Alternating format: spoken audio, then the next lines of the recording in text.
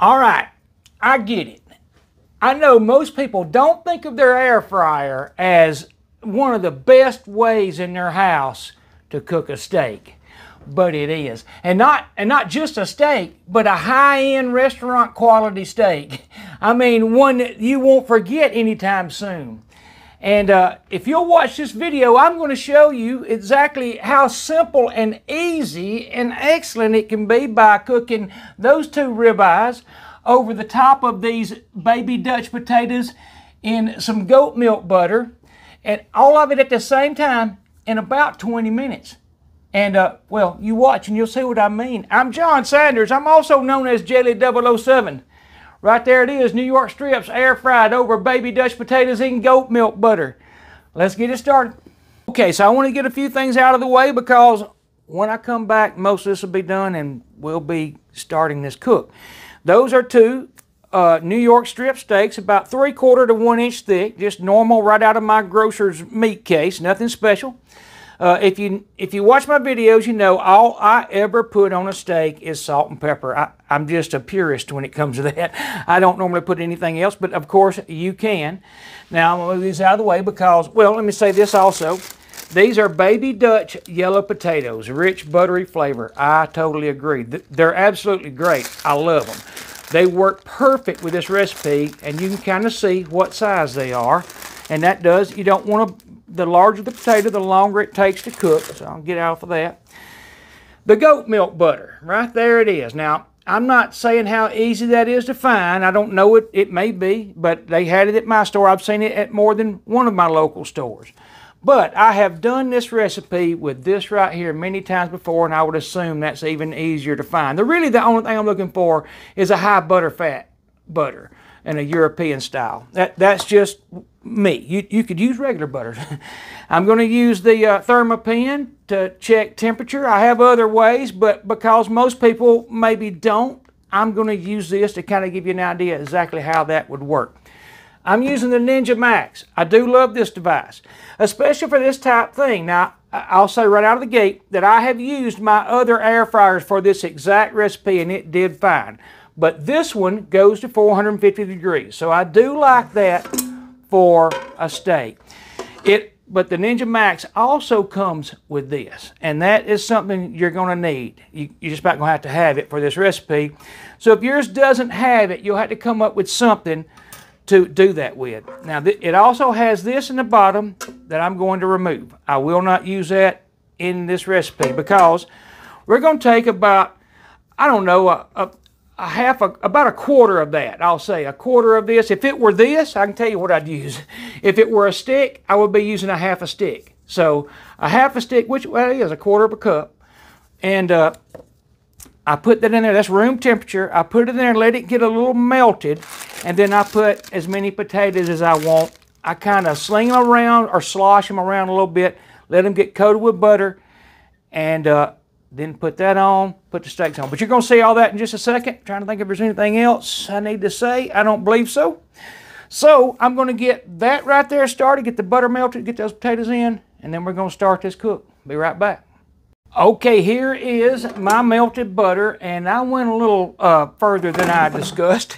that's about half of that. So that's actually a half a cup of butter. I, the way I see it, it really can't hurt. I mean, it's just going to be what gets on the potato, and I mean, it's, it's, it's not like you got to eat it all. So now I'm going to pick out, I don't know, enough for two people, and I'm going to put them in. In fact, we'll just do that right there. Uh, I'll try and use some of the larger. The truth is, if the potatoes are not done when the steak is, while your steak's resting, you can let these run. I've done that many times. So there's about 10 or 11 potatoes, you know. And so what I'm about to do is just get them covered, just get them kind of coated with butter because during the cook, we'll be shaking those, uh, we'll be shaking the pan a little bit to keep the potatoes kind of rolling in that butter. Next step, we'll put this right here on. I'm going to move these to the center where I won't be on them.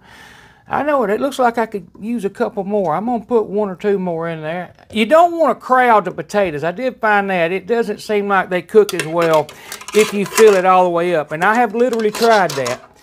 So, I got to find something right here. We are really close to this right here. Putting the steaks on. So there's one ribeye. And there's the other, and you can see that's kind of a his and hers. That'll be baby dolls over there, the smaller one. Oh, by the way, I measured them. They're right at one inch thick, so that'll give you an idea. Again, it's just an idea. I still recommend everybody use their own whatever type of a thermometer, uh, digital instant read thermometer they have, or whatever they can get. So I'm going to completely clear it because we're going to put that in. I'm going to turn it back on we're going to max crisp, which is 450 degrees. And I'm going to go ahead and set it for 20 minutes where I don't have to worry about it turning off. But we're going to be watching it and flipping those steaks. And also, I'll be shaking it every once in a while. But we're off and running. 450 degrees. Two ribeye. I'm sorry, I, I may have said ribeyes before. Two New York strip steaks over some baby Dutch potatoes and goat milk butter. Be back. And just, just to show you what I do, I know they're not ready, but I still, every once in a while, I do this right here, just to roll the potatoes around and get them coated with that goat milk butter. All right, I'm going to look at it right at around the eight minute mark. Let's just see what they look like, and I can shake the potatoes. And they don't look bad, but I'm not going to flip them just yet. And you can see I threw a little butter out. but we're back in and running. All right, we're coming up on the halfway mark. I'm gonna go ahead and open it because I'm either, I think I'm gonna flip them right here. I feel positive, and you can see they look excellent, and that, that's my point. That's what air fryers do to steaks. Whoops, I didn't mean to do that. But you can see the other side needs browning, so you definitely wanna flip them. I'm gonna flip this one right here like that. And Get that position right where I want. I'm going to shake the potatoes just a minute just to get them coated with the butter a little bit better, which we could have looked at. I just didn't, but they're, they're not done. We'll check them again shortly. Be back.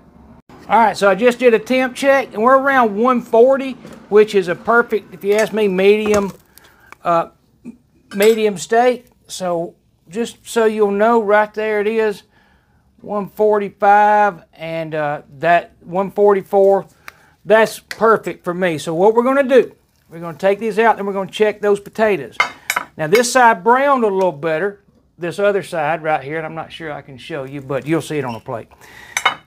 Both of them look perfect uh, like steak's supposed to. And there's the potatoes so we're going to take a reading on those because I want around 200 degrees on a potato. At least 200 degrees you have to have. And uh, otherwise, I mean, you, you, may have a different method where you kind of poke it with something and uh, get an idea how soft it is. So we're a little shy on that, 168, and that's the largest potato in there. I'm going to check a smaller one just so we'll know. 180. But the beauty of that is these can rest. In fact, all steaks, you always rest a steak. So we're going to let these rest for five minutes while those finish out that cooking. Okay, so we're at the 20 minute, the final 20 minute of the cook, what we set up to begin with. I was going to let it go through its little cool down feature, but it's not that big of a deal. In fact, if it don't turn off, um, it's not a big deal. There you go. There's what they look like. Uh, nothing wrong. There's nothing wrong with that. Now you have to be careful because you can throw a little butter up on you and that butter is, is hot. so we're going to do a check right here on the potatoes. We'll take that one right there and we have, let's see if you can see what I'm doing, you can, 199, so there's 200. Carryover will probably take that potato to exactly what I want. Here's one that's still 194. So quite honestly, I'm probably good with that, but we're going to add, I'm going to add uh, two minutes. And, and we're going to let that, and when that's done, we're going to take them out. So there they go. So we're looking at 22 minutes from the time uh, you walked in and put these in your uh, air fryer and then had what I'm going to say is really one of the best meals you'll ever eat. Anyhow, two minutes. I'll see you. Okay, we're coming up on the, the final two minutes, which made this a total of a 22 minute cook. And uh, this, it, it's, it's like it's always, it's spectacular. I'm going to take this right here and put it in the sink, just like this. And then I'm going to put these in this bowl for now. Give them a minute to kind of sit around just because they are super hot. But again, you could serve them right now. But I'm going to put them in here and I'm going to pour that butter over the top of them. And uh, we're going to put them with these steaks. So, y'all bear with me. I'll be right back. I may have to make a picture or two. We'll see. But I'll just show you this. Well, here comes this part. This is a, a an important part. So I'll show you what it looks like. that right there. And uh, I don't need to tell you. Goat's milk butter on top of that. And it's, it, it's going to be excellent. Be back. Okay, so I got to make some of those pictures us YouTubers always make, but I wanted to show you the ending uh, temps right now. And we're talking about 199, 200 degrees on the potato. That is absolutely perfect. I mean, it's going to climb a little further. And 132 on the steak. That's a, I, again, people do not think of this as the best way to cook a steak. I mean, uh, literally, you could go by the store on the way. I've done it before. You buy them, set them in your front seat. That is lets it get a little bit closer to room temperature. When you get here, you drop them in. It's it's unbeatable. I'm telling you. 22 minutes, New York strip steak and excellently cooked potatoes in a a goat milk butter that kind of gives it a little bit of a twang. You, it's, it's a real neat way to cook potatoes all in the same device at the same time. Again, 22 minutes. So let's just take a look. We'll take, I don't, I got to make pictures, so I don't want to destroy it. but right here, right in the center, and uh, I just don't know how you would beat that. Uh, again, any restaurant in town would have trouble comparing with that. Uh, it again, I'm gonna take a bite of it. Let's get one right here. I'll move that potato and as you might expect, it's as good as it looks. The potato is perfectly cooked. I'll show you by mashing it. I mean, that is a... Mmm. An excellent butter flavor. And you got plenty more butter if you want to pour it over it. You got it. I'm not going to. but you could. That's my point. So anyhow, trust your air fryer to cook one of the quickest, easiest, best steaks you've ever had, call me out on the video if you don't think I am telling you the truth. Hey, I love y'all all. Y'all come back to see me. Y'all have a good night. Air fry your steak and some potatoes. Bye-bye.